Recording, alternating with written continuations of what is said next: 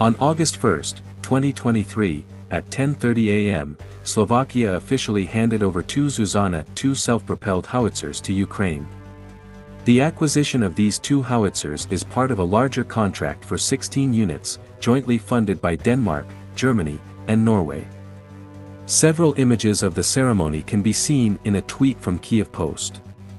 The handover ceremony took place in the city of Dubnica nad Vahom at 10.30 am and was attended by prominent figures, including Slovak Prime Minister Ludovit Odor and Defense Minister Martin Sklenar. The total cost of purchasing all 16 howitzers amounts to 92 million euros, and it is expected that Ukraine will receive all units by the end of 2023. This significant investment reflects the seriousness of the situation in Ukraine, which has garnered the full attention of the new Slovak defense minister. The joint project between Slovakia and Ukraine is not new, as a previous contract was signed in June 2022 for the supply of 8 Zuzana 2 self-propelled howitzers. Ukraine received these 8 units just seven and a half months after the contract was signed, with the final delivery taking place in January 2023. At the heart of the Zuzana 2 is a powerful 155mm-52 caliber cannon.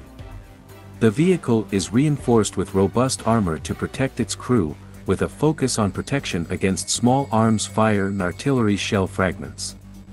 Additionally, the Zuzana 2 is equipped with NBC protection, a fire control system, air conditioning, and a land navigation system.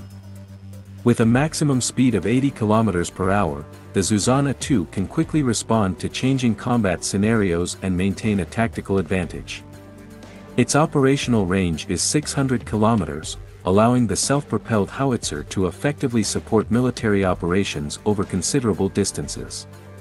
The Zuzana 2 can accommodate a crew of four members and measures 14.2 meters in length, 3.02 meters in width, and 3.52 meters in height, with a total weight of 32,400 kilograms. The delivery on August 1, 2023, reinforces the Ukrainian artillery capacity, which is crucial in the context of the Russo-Ukrainian conflict.